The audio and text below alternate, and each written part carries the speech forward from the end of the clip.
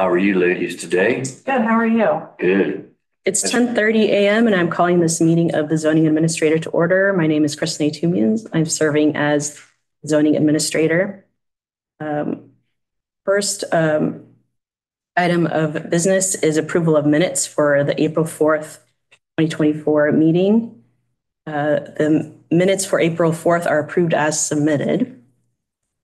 Uh, The next um, Next item on the agenda is public comment. We are now taking public comments on item number three, non-agenda matters. This is a time when any person may address matters not listed on this agenda, but which are within the subject matter jurisdiction of this committee. If you're attending in person and wish to make a comment, please raise your hand. Hi, Hello, Mr. DeWitt. my name is Dwayne DeWitt. I'm from Roseland. I appreciate that you folks all are doing this type of work and that even more folks from the planning department are here today. I was hoping that you could look into something that happens over on Sebastopol Road. It's been in the city now for seven years. Things aren't getting better.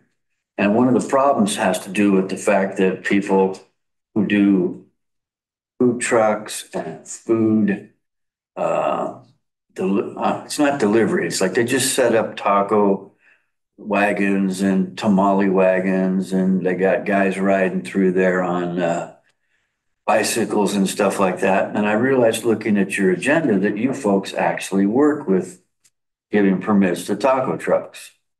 I'm like, okay, how do we deal with all these unpermitted folks that are just catch as catch can doing what they do? And then right along Sebastopol Road in front of that area they're now calling a food court. For a number of years, at least eight to 10 cars on a daily basis are there for many days in a row with for sale signs. All right? They're not moving. They're actually a small car lot, if you will. And you would think, well, okay, that's supposed to be some kind of permitted use also. We got to get those cars out of there. They cause the traffic jams that back up Sebastopol Road from the western point at West Avenue back down to Dutton Avenue. And that's a long stretch in which you get cars backing up. And then they're adding to the pollution in our area where we already have the highest amount of childhood asthma as the more recent records have shown. I don't know what this year shows, but we've got problems in Roseland and they're not getting resolved that well. So I was hoping, having seen you work with taco trucks and that type of activity, please talk with these nice ladies and say, hey, how can we resolve some of this stuff? All right. And then last but not least, I can't be here for the entire meeting, but I see you're talking about a permit for a warehouse to have storage of books. Does somebody that own a big building have to go that deep into stuff? Like this is, oh, this is for the fourth I've got. Oh, okay. Wow, that'll teach me, huh? You know where I got it? Here, Oh, okay. right over there. Okay. So thank you very kindly for your time today. You've gotten my drift on it. And uh, if I could ever be of any help to you on any of that stuff, please don't hesitate to get in touch with me. Although that's never happened yet. All the best to you folks. Thank you. Thank you. Thank you. Yeah, all these are for the board. Oh, okay. Is there anyone else uh, wishing to speak on an item that is not on the agenda? Is there an agenda? That's not the correct agenda, apparently. There, there's two items on the agenda. Maybe you Yeah. just talk about. Yeah, I'll give a brief On there. summary. So I will close uh, the public comment and move on to zoning admi- administrator business. The zoning administrator is appointed by the Planning and Economic Development Director and has the responsibility and authority to conduct public meetings and hearings and to act on applications for minor or reduced review authority projects or entitlements. Determination or decision by the zoning administrator may be appealed to the Design Review Board, Cultural Heritage Board, Planning Commission, or City Council as applicable to the decision. All actions taken by the zoning administrator may be appealed within 10 calendar days. If the final day of the appeal period falls on a non-business day, the appeal period will be the, will be extended to the next uh, business day. So we have, um, just to give a brief overview what we have scheduled for um, uh, public meeting items. One is uh, 6.1 Public Meeting T-Mobile Tower Extension, Design Review 3186 Coffee Lane. And the other is a proposed uh, deck at 653 Charles Street, a landmark alteration permit. So moving on to the first item, the first schedule item um, is Hartman. Thank you, zoning administrator Toomians. I will be sharing my screen now.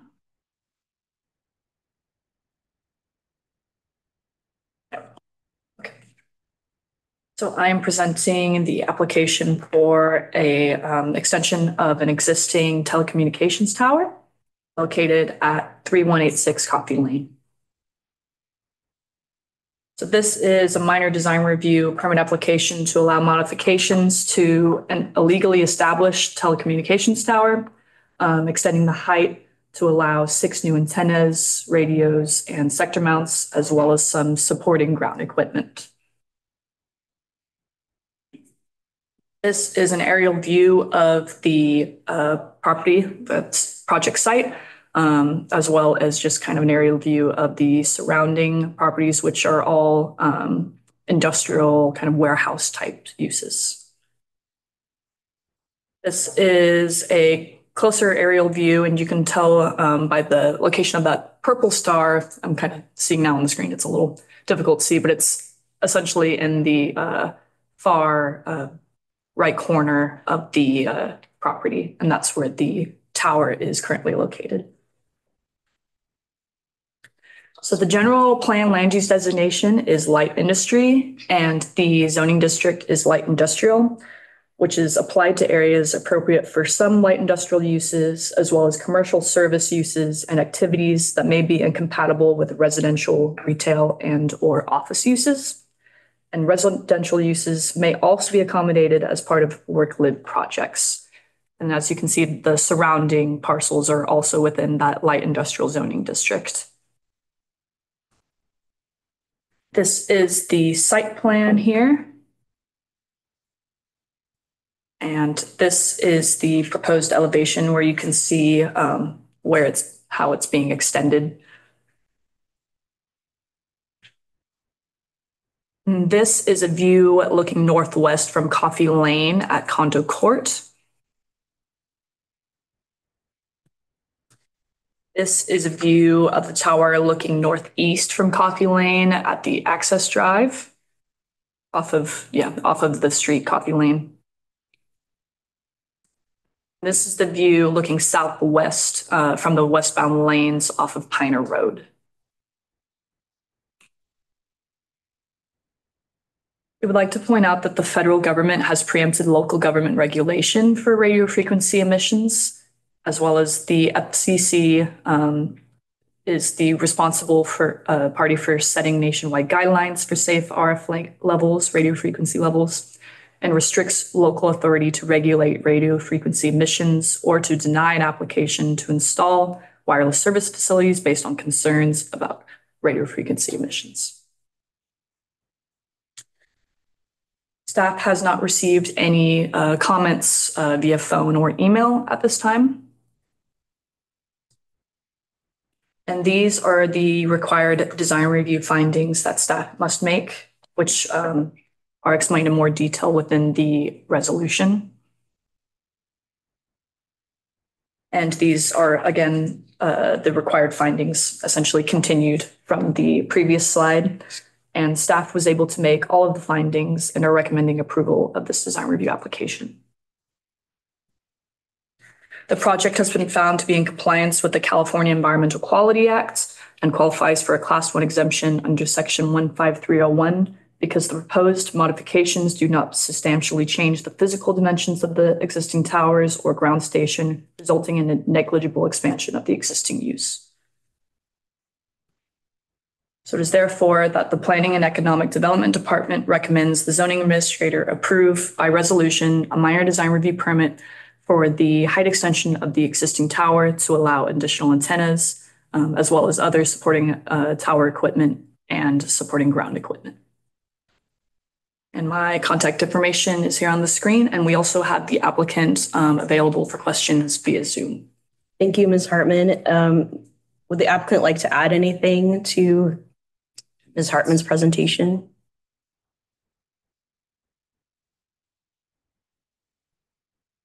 Arvin Naruzzi here with uh, T-Mobile and American Tower. Can everybody hear me? Yes. Perfect. No, I do not have uh, anything to add. I just have one question. Um, Just looking at the aerial, I noticed there's a lot of debris um, and some um, outdoor storage, and I don't see that a minor use permit was granted for outdoor storage. And I was wondering um, if the conditions shown on the aerial um, still exist because it- it's behind the building and not readily visible from the road.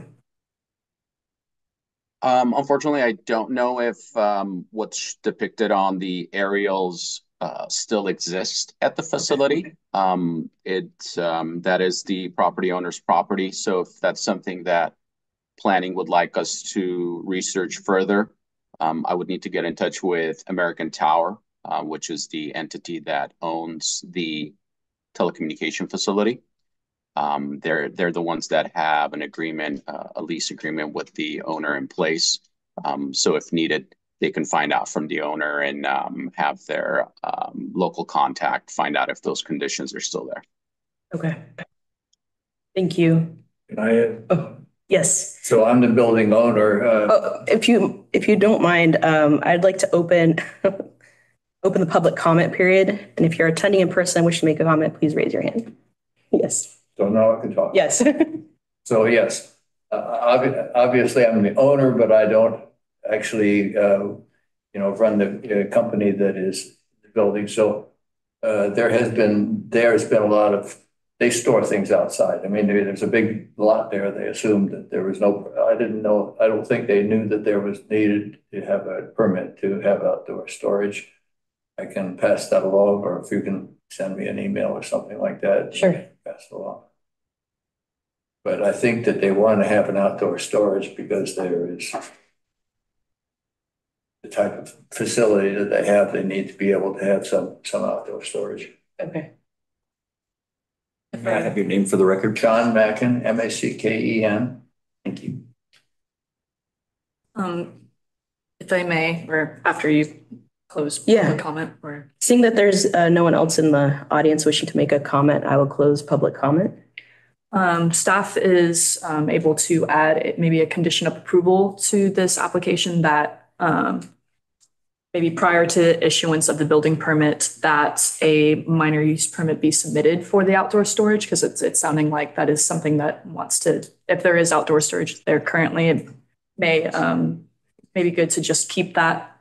Um, and so to have it as a condition, essentially just saying, um, prior to issuance of the building permit, um, all outdoor, um, materials or equipment, um, should be, is subject to a minor conditional use permit, um, for outdoor storage.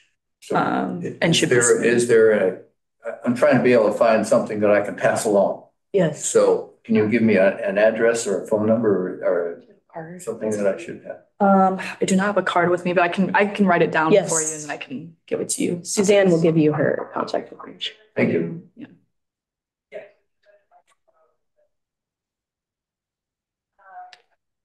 Um, Ms. Hartman, I agree with adding that condition to the resolution. So I will um, approve the use, um, I will approve the design review, minor design review for the um, extending the tower um, with that added condition.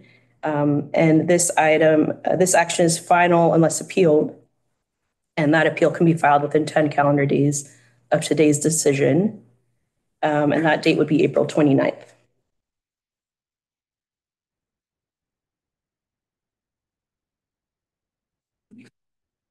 Thank you. Yeah.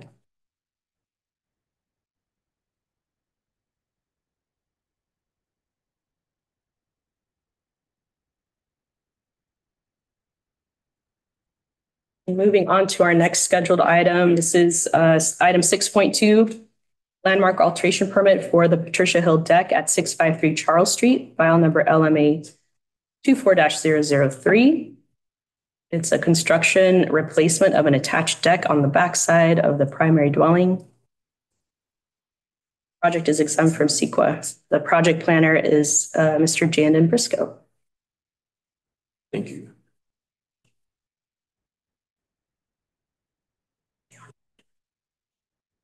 You just project. Oh, you have to share it.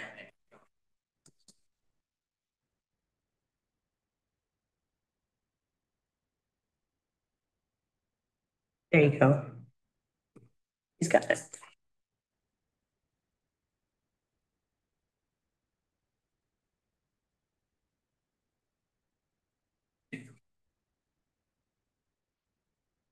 Good morning. I'm Jen Briscoe, the project planner for this, this deck, this proposed deck located at six five three Charles Street. The Applicant is proposing to build a one hundred eighty-two square feet deck at the rear of their house. And as you can see, this is a rendering of the existing house right here. And to the right is a side view of the existing house. General plan, land use designation is low density resident, low density residential. However, the zoning is plan development uh number 0225 that's historic. And the reason why this permit needs a landmark alteration, I mean, why this project needs a landmark alteration permit is because this is located within the Burbank, the historic Burbank Garden District. As you can see, this is the part of the Burbank Gardens District, and this is where the um project is located. And here's the site plan of, of the proposed deck and a floor plan of the house.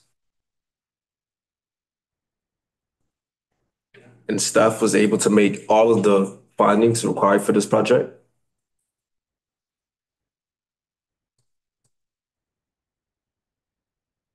The project has been found in compliance with the California Environment, Environmentally Quality Act, CEQA, pursuant to CEQA guidelines, section one five three oh two, no construction or convert, or conversions. Project is categorically exempt from CEQA because the proposed project is a replacement of the existing deck.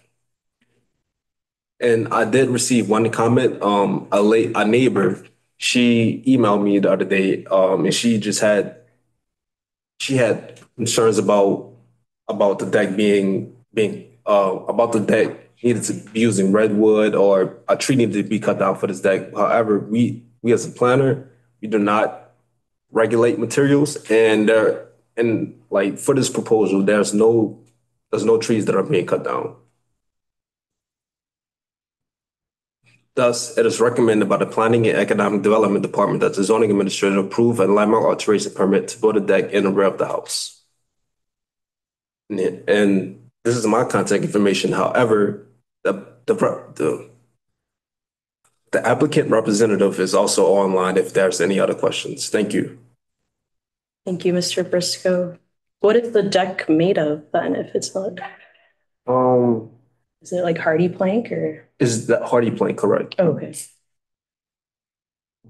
So, Is the applicant, uh, does the applicant want to add anything to Mr. Briscoe's presentation? Um, if you can hear me, this is Brian Muser speaking, and uh, no, I don't have anything to add, but I can answer any questions if you'd like. Okay. Yeah, I don't have any questions. The deck appears to be compatible with the architecture of the house. And um, I don't have any concerns with the size or the height or the materials. So um, before I uh, make a decision, I'd like to open it up to public comment. Um, But seeing that there's no one in the room, I'm going to close the public comment. Um, and so I will be approving the um, project as uh, your resolution is written. mhm. And please note that this action is final unless an appeal is filed with the city clerk's office within 10 calendar days of today's decision pursuant pursuant to zoning code section 20-62030. And that date is April 29th, 2024. Uh, With that, the meeting is now adjourned. Thank you, everybody.